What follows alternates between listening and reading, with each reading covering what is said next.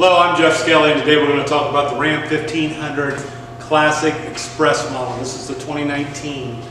This actually has the Hydro Blue Sport Package, which gives you a Sport Performance hood, and then a decal by Mopar. Um, along with Black Accent Package, your semi-gloss 20-inch black wheels. All your uh, badging is black. Everything's blacked out. Looks really cool, especially on this black, even your headlamp bezels.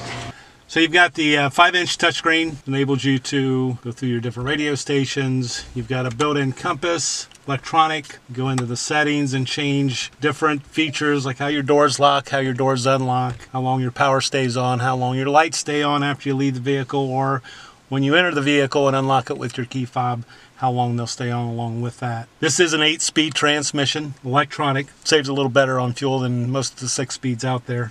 You do have a auto stick that's actually built into the steering wheel so you don't have to shift down or up or slap stick. So the steering wheel, you've got your Bluetooth, so you're able to stream your music. You can uh, make hands-free phone calls, which is safe. You've got a menu here that gives you plenty of information about your current vehicle health, such as tire pressure, transmission temperature, oil temperature, oil pressure, oil life. You ever wondered, do I need an oil change? There it is. Let you know right there. And your battery voltage. Now this is the uh, this is part of the Hydro Black package. This has the black seats. Um, this is a bench seat which folds up, console folds up, and you're able to fit three people in the front versus your bucket seats where there's typically a console there. You do have 12 volt connections here and a USB here. So depending on how you need to charge your devices, both are available this is a crew cab, which gives you uh, a little more leg room than your typical quad cab.